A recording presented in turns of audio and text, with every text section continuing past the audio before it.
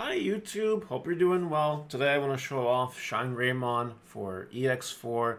This is quickly becoming one of my favorite decks. I'm always a fan of the Greymon, Agumon cards, and Shine Greymon does fall in line with that, which is really cool. In EX4, it has some new tools to play with. It is not tier 1 yet, that's next set. But for now, it's a solid fun deck if you want to you know, take it to a fun tournament and have a good time with it. Like the video, subscribe to notification bell smash potatoes. That way you know when all these amazing Digimon videos go live. I hope you guys enjoy. Alright, as Shine Greymon still isn't complete to the point where it will be in BT13, the deck needs a little bit of extra draw power, a little bit of extra consistency. So for BT5 Koromon when attacking, draw a card. Gets the job done for sure. I don't really like the yellow Koromon. I don't think it does enough. Plus we are playing a uh, red rookie that only evolves on a red baby, as you'll see shortly.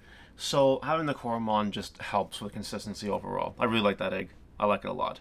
Alright, this deck is gas. We're playing four copies of the new Agumon. The one that started your main phase, if you have one like a Tamer, you gain memory, which is really good. And a Heritable for Tamer, suspended draw card.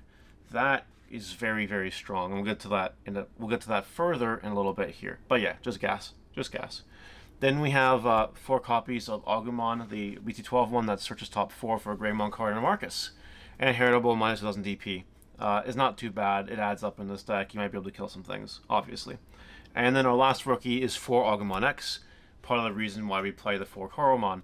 Because you might need to evolve it on your Koromon. You might just have to do that. But on player evolving, you reveal top 3 Greymon card. There's no Omnimon, there's no X antibody, none of that fun stuff. But anyway, 12 rookies, consistency is key here. We don't really need to do anything else. Uh, next up for champions now. Geo Greymon, the new one from EX4, four of it, it has the exact same effect as the Agumon. So obviously what gets really cool is if you have one of these, uh, if you have the stack, if you if you have a level 5 on top of it, right? If a Tamer gets suspended, you draw two cards. That's like Pot of Greed. For those of you that don't know, Pot of Greed lets you draw two cards from your deck. Pot of Greed is really good. There's a reason why it's banned in Yu-Gi-Oh! And having this stack just lets you pot a greed, which is pretty insane. Uh, not to mention, if you attack with it, you also draw a card. So, like, that's three draws potentially in one turn.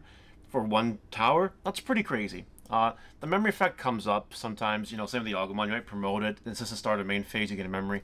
That's fine, that's cool, but uh, it's really there for the draw power. Of course, we're playing uh, 4 BT12 Geo Grey, the one from, uh, that one that plays the Marcus for free if you don't have one. And the 2000 DP Inheritable is cool as well. We do play one random other champion here, is one Greymon X Antibody. We play one of it because it is actually the cheapest way to evolve into your ultimates in the deck. Uh, basically, you know, you can evolve into your Rise Greymons for two. Uh, that's very, very good. You can't do that with these Geo Greymons. So Greymon X is super valuable in my opinion. It's just a one of you're not going to get any protection from it because you don't play X antibody, but the reduced cost is really, really strong. Now for ultimates, it's very, very consistent. Uh, the, the, the dream of this deck is consistency. There's a lot of fours in this deck, and for very good reason. And this is one of them, the G, the Rise Grey, the one that when you evolve, you gain memory back, assuming that you uh, gain a have a tamer on the field. So it costs three on a Geo Grey. It costs two on Greymon X. So that's why we play the Greymon X. Either way, you get memory back, so it's effectively a two-cost evolution, or even a one-cost evolution, which is pretty cool.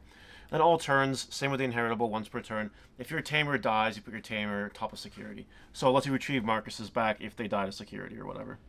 Uh, then we play four copies of Rise Greymon X. Uh, we the the Rise Greymon in EX4 is not a good card in my opinion. There's no reason to run that card in my opinion. Uh, this might change in BT13 we get a new Rise Greymon, but for now, for Rise Grey X gets the job done. It does play a Tamer when you evolve it, which is valuable in itself. And if you evolve it on the Rise Grey, you do get to do 2,000 damage or something for every Tamer you have, which is pretty strong. And then our level 6s, we play 4 copies of Shine Greymon. It gives your Marcus's plus security and plus 3000 DP. In addition to that, when you evolve, you weaken your opponent's security and weaken one Digimon on the side of the field by 3000 for every Tamer you have. So that can make for a very powerful Marcus swing all of a sudden. And uh, that's it for level 6s. Again, just consistency, just gas. We're not trying to get cute. We're not trying to play things like Shine Greymon BT2 or War Greymon BT4 and like that. It's just consistency. It is just gas. Now, the next two cards we play are the final two Digimon on the deck. They are two copies of Shine Greymon Ruin Mode. We do know what this card does. It evolves on deletion, minus 5,000, everything. Global effect, anything that comes into play gets affected by it. And then end of attack, uh, it deletes itself. You recover and you hatch an egg and you pop something. Card is broken. I think the card's a little bit more of a win more card in this deck, but I can't deny that in testing it actually has come up a couple times. So for now, it's good. Will it remain in BT13? Uh, I don't think so, but who knows? The future is still very far away. Alright, that's it for Digimon on the Tamers. Obviously for the big bad man, Marcus himself. To start a main phase ability, he pay memory turn into Digimon. If you control Agumon or Greymon, is very good. And then when he's suspended, or when you attack with it basically, you get to evolve one of your cards into a Greymon card for free which gets ridiculous. And yeah, it does work on Striker Rune which is really, really cool too. But uh, yeah, Marcus is the most broken card in the deck. It's crazy. Now we're playing two of this. Two Tai and Kari. If you guys noticed, we're not playing any more of the BT12 Red Black Agumon stuff, the stuff that synergizes with Tai. We're not doing it anymore, so we reduced our number of this to two. Two is the absolute minimum, though, in my opinion, because it is still red yellow tamer. It's really good and gets you memory return as long as someone's at three or less security, if not both players. And the suspend to just weaken security 2000 is really cool. It comes up if you don't have Marcus on the field, right? If you don't have any other Tamer on the field, uh, then you can suspend this with your like Agumon Geogray stack from EX4 and draw cards. You can do that. So it is a very valuable card in my opinion. We're still playing the one of Marcus for the Memory Tamer and suspend when you attack with a Greymon card to gain memory.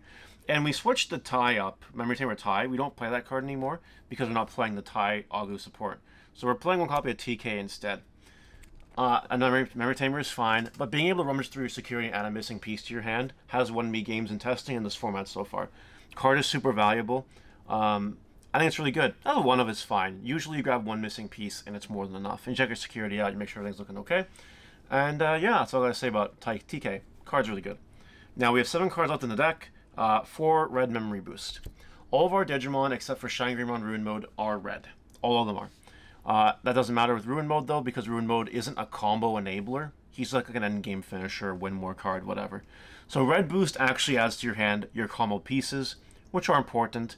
Uh, also gives you two memory later, which actually does come up in this deck. You need the memory sometimes. So I'm very happy to play four of that. One copy of Sunrise Buster. Uh, it's limited, so we play one copy of it. Playing Tamer's DP Reduction is broken. And two copies of Crimson Blaze to wrap up the deck profile. It deletes everything 6000 DP or less, costs 1 for every Digimon they have, and floodgates your opponent to where they can't play Digimon by card effects. So the card's really good, and you can do little chip DP reduction with your cards so that Crimson Blaze can actually kill bigger things. It can wipe boards, it's a very good card, and that's for the deck profile. That's it. Alright, that'll do it. That's Shine Greymon. Uh, a lot of fun to play, a lot of fun to build. Give it a try before BT13, because you'll want to definitely know how the deck works. Before then, But uh, yeah, that's it. That's all I got. What do you guys think about it? Let me know. I'll see you later.